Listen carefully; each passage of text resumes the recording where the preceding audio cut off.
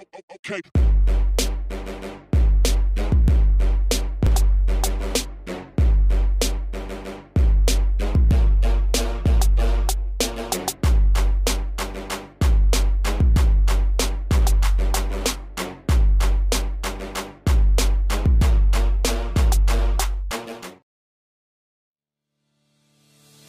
Assalamualaikum warahmatullahi wabarakatuh. Selamat datang dan salam sejahtera bagi kita semua. Di video ini kami dari grup 1 ingin menyampaikan hasil diskusi kami yaitu pemeliharaan tanaman belum menghasilkan karet atau Hevea brasiliensis. Berikut merupakan hasil diskusi kami, harap simak baik-baik ya. Terima kasih.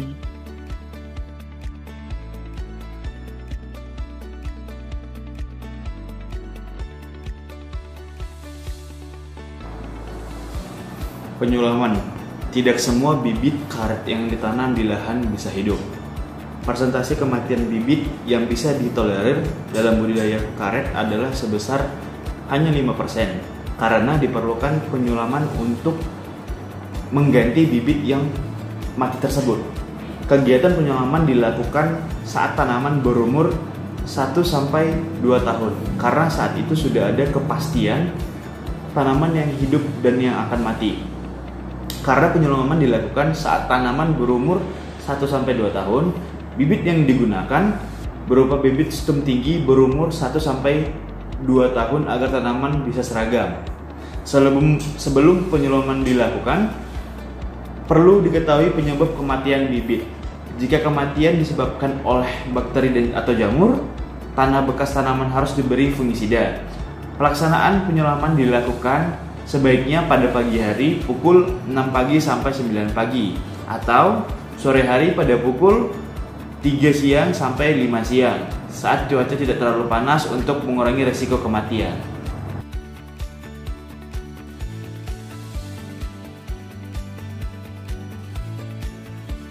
Pelunasan atau pewiwilan. Pelunasan adalah kegiatan membuang tunas palsu dan tunas cabang. Tunas palsu perlu dibuang supaya tanaman dalam satu blok dapat tumbuh seragam. Tunas palsu dapat menghambat tumbuhnya mata okulasi dan bahkan dapat menyebabkan mata okulasi tidak dapat tumbuh sama sekali. Tujuan utama dari penunasan ini adalah untuk mendapatkan bidang saraf yang baik, yaitu yang berbentuk bulat, lurus, dan tegak. Pelunasan atau mewiwil dilaksanakan pada TBM 1 hingga TBM 3 sampai di ketinggian 3 meter. Jika tidak dilakukan pewiwilan cabang, akibatnya pertumbuhan batang utama karet menjadi terhambat.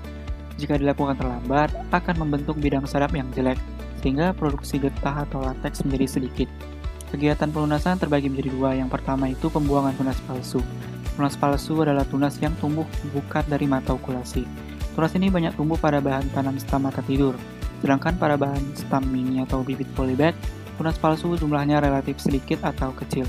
Stam mata tidur adalah bibit yang diokulasi di lahan persemaian dan dibiarkan tumbuh selama kurang dari dua bulan setelah pemotongan batang atas pada posisi 10 cm di atas mata okulasi dengan akar tunggang yang tunggal atau bercabang. Agar tanaman dalam satu blok dapat tumbuh seragam, tunas palsu harus dibuang karena dapat menghambat tumbuhnya mata okulasi dan bahkan dapat menyebabkan mata okulasi tidak dapat tumbuh sama sekali. Pemotongan tunas palsu harus dilakukan sebelum tunas berkayu. Hanya satu tunas yang ditinggalkan dan dipelihara, yaitu tunas yang tumbuh dari mata okulasi. Pembuangan tunas palsu ini akan mempertahankan kemurnian klon yang ditanam. Yang kedua ada pembuangan tunas cabang. Tunas cabang adalah tunas yang tumbuh di batang utama pada ketinggian kurang lebih 2,75 sampai 3 meter dari atas permukaan tanah. Pembuangan tunas cabang akan menghasilkan bidang serap yang bulat, lurus, dan tegak. Pemotongan tunas cabang dilakukan sebelum tunas berkayu, karena cabang yang telah berkayu selain sukar dipotong akan merusak batang kalau pemotongannya kurang hati-hati.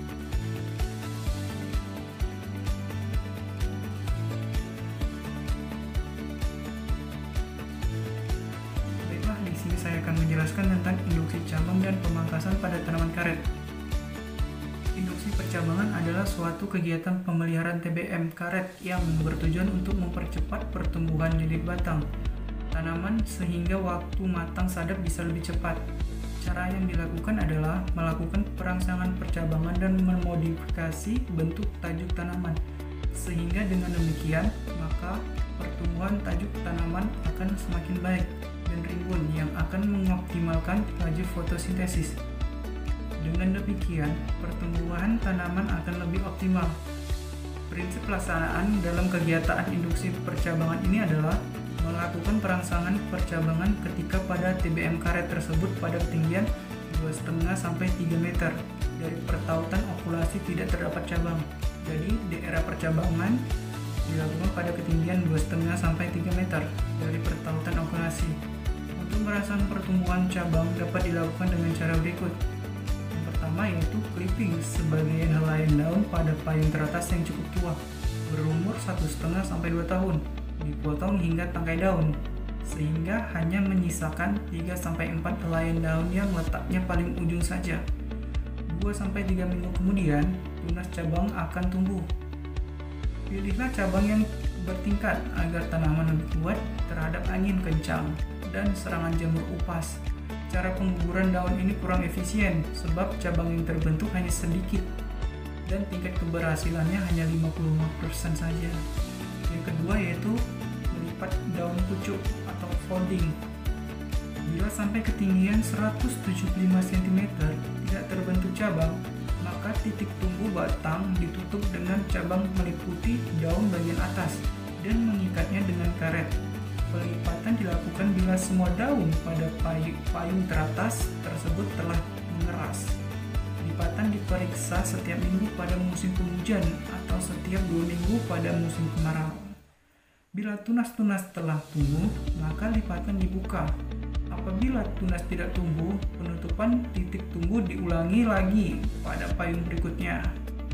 Yang ketiga yaitu pemotongan batang atau topping. Apabila sampai pada ketinggian 3 meter tidak terbentuk cabang, maka dilakukan pemotongan batang tanam atau topping. Pada ketinggian 310 cm, cabang yang dihasilkan dibiarkan tumbuh dan tidak bertunas. Topping agar dilakukan pada musim penghujan, jangan dilakukan pada musim kemarau. Selain sistem folding tersebut, ada juga yang lebih baik, yaitu sistem muda yang baru muncul pada ketinggian di atas 175 cm agar dipotong daunnya dengan setengah kecuali pucuknya dengan sistem pruning dan branch induction pada pertambahan grid atau lingkar batang yang berarti mempersingkat masa TBM. Selain itu, mencegah pokok doyong atau tumbang. Hal tersebut berarti menghemat biaya dan cepat mendapatkan produksi. Biasanya untuk woodgraft umur 4 sampai 4,5 tahun sudah dapat dideres. Pemangkasan tajuk atau topping. Pemangkasan tajuk merupakan kegiatan pemangkasan tajuk dan cabang yang terlalu berat.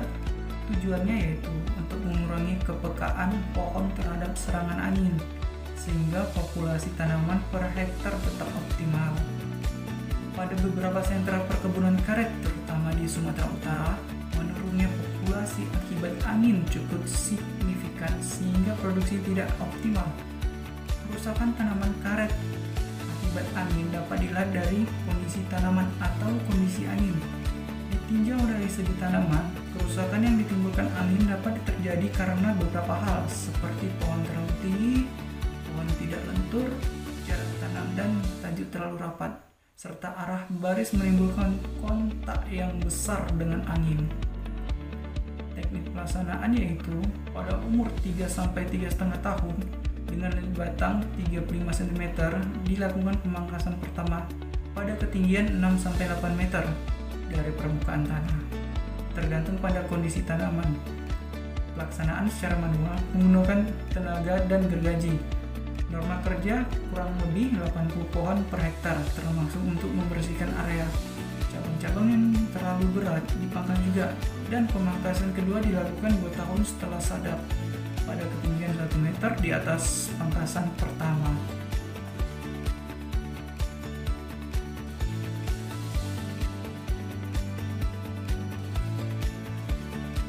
Baiklah, di sini saya akan menjelaskan tentang bagaimana cara mengendalikan gulma yang biasa dilakukan oleh para pekebun pada tanaman karet. Yang pertama yaitu pengendalian gulma secara mekanik. Yang biasa dilakukan yaitu mencabut gulma, membabat gulma, menginjak-injaki gulma, melakukan pengolahan tanah, pembakaran gulma, dan pemakaian mulsa. Metode yang kedua yang biasa dilakukan oleh para pekebun untuk mengendalikan gulma yaitu secara kimiawi yang biasanya menggunakan herbisida seperti Roundup, Sidafor, dan lain-lain. Biasanya para pekebun mengaplikan herbisida dengan cara menyemprot bagian gulma yang berada di area pertanaman karet. Karena, namun karena dapat menimbulkan dampak yang serius bagi lahan budidaya, Pengendalian gulma menggunakan metode kimiawi sebaiknya dipilih sebagai opsi terakhir bila cara-cara lain tidak cukup efektif.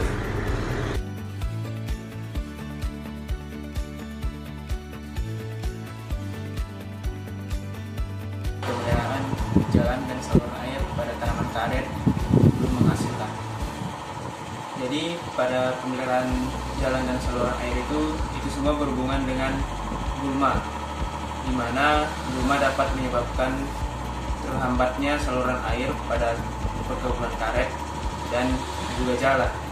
Jadi kita dalam memelihara jalan dan saluran air e, berhubungan dengan membersihkan gulma. Cara mengatasi gulma yaitu dengan pertama secara manual yaitu dengan cara kita tarik langsung menggunakan tangan atau dengan bantuan alat. Kemudian bisa dilakukan dengan cara kimia dengan menyemprotkan ya, pestisida pada gulma tersebut agar tidak tumbuh lagi. Sekian yang dapat saya sampaikan, semoga dapat memperbaiki semua.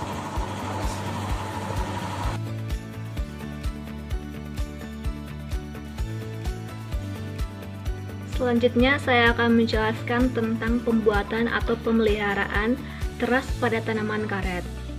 Teras merupakan tempat penanaman karet yang dibuat rata dengan merubah lereng-lereng tanah yang asli. Jenis teras pada tanaman karet yaitu yang pertama, teras bersambung atau kontur dan yang kedua, teras tapak kuda atau individu.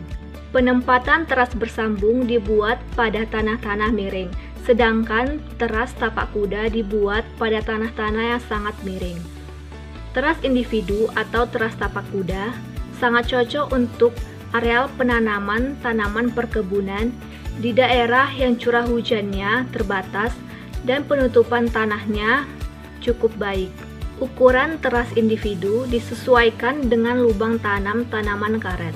Pembangunan teras pada tanaman karet bertujuan agar laju atau kecepatan dari aliran permukaan menjadi lambat dan kekuatan untuk menghanyutkan permukaan tanah menjadi berkurang atau untuk mengurangi terjadinya erosi.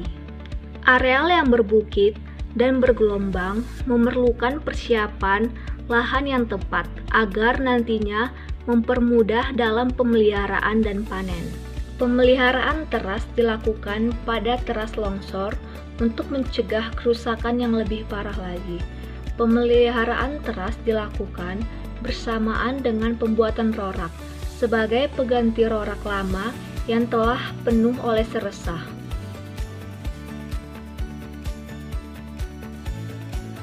Pemupukan adalah kegiatan penambahan hara dan nutrisi agar tanaman bertumbuh dan berkembang baik. Tujuan dari pemupukan tanaman karet ialah untuk meningkatkan produktivitas tanaman, lalu untuk mempertahankan kesuburan tanah dan menjaga kelestariannya. Yang ketiga adalah menjaga keseimbangan unsur hara yang ada di tanah dan tanaman, lalu untuk meningkatkan pertumbuhan tanaman dan meningkatkan ketahanan tanaman dari serangan penyakit. Apabila tanaman karet tidak dipupuk, maka akan menunjukkan beberapa gejala kekurangan seperti tanaman kerdil, daun berwarna pucat dengan ukuran kecil, lalu ukuran lilit batang lebih kecil dari ukuran standar, lalu periode tanaman belum menghasilkan lebih dari enam tahun, dan produksi karet kering jauh di bawah angka perkiraannya maka dari itu tanaman karet haruslah dipupuk. Namun ada beberapa faktor yang menentukan keberhasilan pemupukan tanaman karet. Yang pertama ialah dosis pupuk yang dalam jumlah cukup, lalu jenis pupuk yang sesuai dengan kebutuhan tanaman, lalu waktu dan frekuensi pemupukan yang tepat. Yang keempat yaitu cara pemupukan yang tepat dan yang terakhir ialah pengendalian gulma dan penyakit. Kebutuhan dari dosis pupuk setiap tanaman karet berbeda-beda, tergantung dari pohon karet yang digunakan, keadaan tanah dari lahan yang digunakan, dan juga lingkungan dari lahan yang digunakan. Namun, kita dapat memberikan rekomendasi dosis pupuk dari jurnal yang sudah ada. Salah satu rekomendasi pemupukan tanaman karet TBM yaitu dari BPTP Jambi 2013 yaitu seperti tabel berikut ini. Lalu selanjutnya ada juga rekomendasi pemupukan tanaman karet TBM dari Zaini tahun 2017 yaitu seperti tabel berikut ini.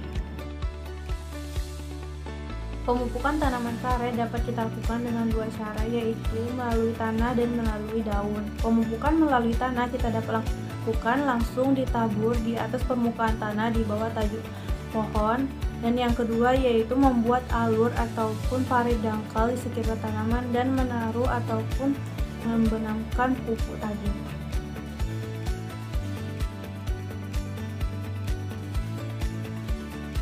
Pembuatan rora Rora atau split pitch atau cat ditch adalah lubang berbentuk persegi dengan ukuran tertentu yang dibuat di beberapa titik pada areal pertanaman.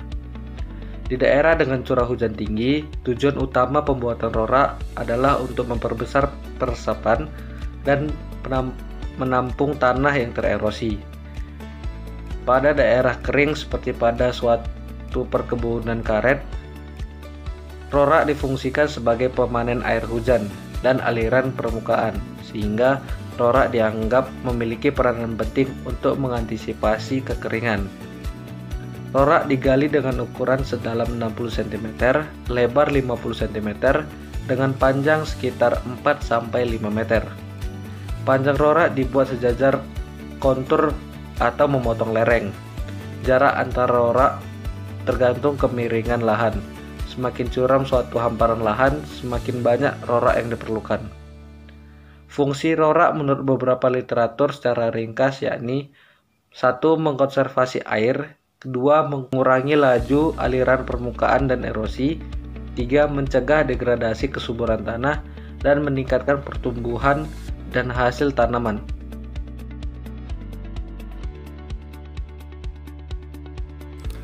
Salah satu kegiatan yang dilakukan dalam pemeliharaan TBM tanaman karet ialah dengan cangkul beruang. Cangkul beruang merupakan kegiatan di mana dilakukannya penggemburan tanah di sekitar tanaman karet.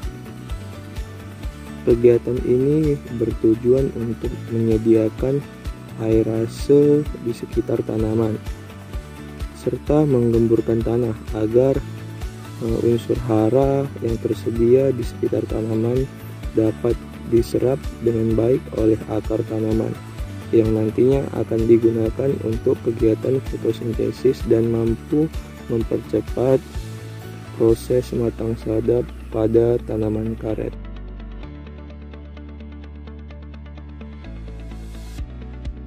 Baiklah, saya di sini akan menjelaskan tentang lilit batang tanaman karet.